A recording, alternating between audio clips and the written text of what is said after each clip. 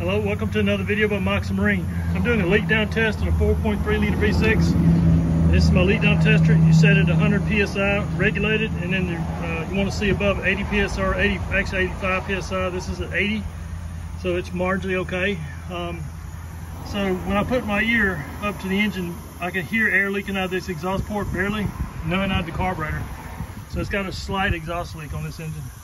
This is cylinder number four. So uh, it's 80 psi and uh, got a slight exhaust leak on number four, or excuse me, on the exhaust on the exhaust valve. Okay, I just completed cylinder number four on this leak down test, and you see I've got the uh, top TDC mark right in line with the mark.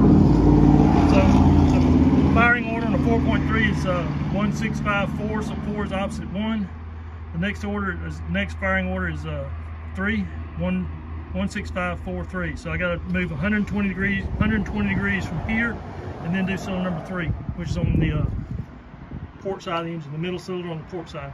So I got to move this 120 degrees and then do, do the uh, number three cylinder. All right, this is cylinder number three, and I've got uh, about 50 psi on this. That's failing the leak down test. And I hear significant air.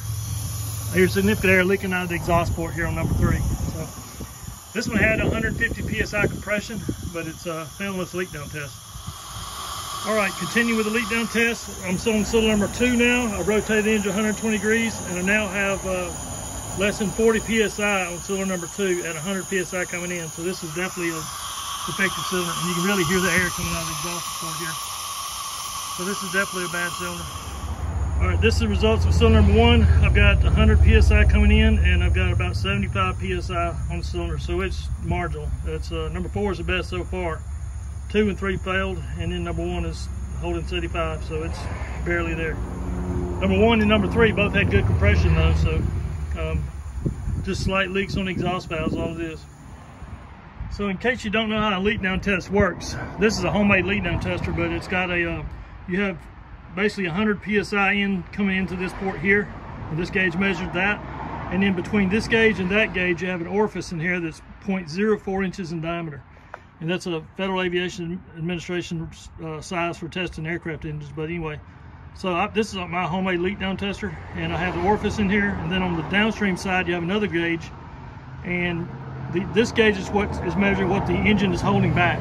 So if the engine doesn't hold back much pressure, it has internal leakage, so this gauge will drop down. So this the orifice is basically a measurement of how much leakage the engine has, and that 0.04 is considered the standard. So if the engine is leaking more than about, if it won't hold more than about 85 PSI, it means you got too much leakage and the, this downstream gauge won't hold it. So that's what I'm doing now. And so when you, the, the beauty of a uh, leak down test is, relatively quiet compared to a compression test. So you can hear, use your ears to hear if there's air coming out of here, out of here, or out of the carburetor.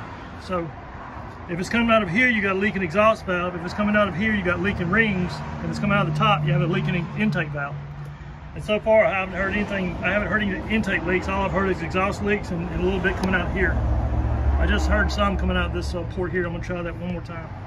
All right, I've just finished testing number one. I can hear some air coming out of here, but I hear quite a bit of air coming out of here. I can put my ear to that hole and I can actually feel the air blowing across my earlobe. So number one has got pretty bad leaking rings.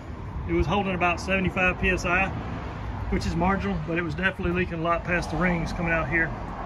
So I would say number one needs uh, is a failure. Moving on to uh, six and five now. All right, I've rotated engine another 120 degrees and I just did it by eye. And uh, I'm now doing number six and you can see number six has very good results. So number, this uh, holding more than 100 PSI there, but this cylinder is at 90, a little less than 90 PSI. So this one's very good. This within, this is very acceptable. Um, I can hear internal leakage, but it's, I believe it's rings, but it's very minor. So this, this cylinder is a pass. All right, I'm now doing cylinder number five, and the results are very poor. I'm down to less than 35 PSI, but a bigger issue is I can feel air coming out of this spark plug hole. This is number three. I've got air coming out of number three spark plug hole, but I'm testing number five. So there's a blown head gasket between number five and number three. So so I'm still testing number five and you have to be careful. So I put my ear to the carburetor and I can hear air coming out of the carburetor, But I don't believe that's coming out from number five. I believe it's coming off the intake from number three. The order, the six firing order is one, six, five, four, three. So three is two cylinders away from firing from five. So its intake valve is still open trying to suck in air to fire.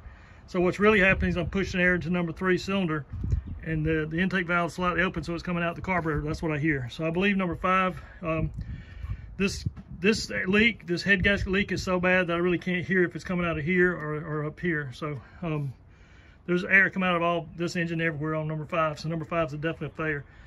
So the cylinder head's got to come off for sure on the port side of this engine, and I'll have to go back and review the results of the of the uh, starboard side. But my opinion, both heads need to come off, and this engine needs to be rebuilt.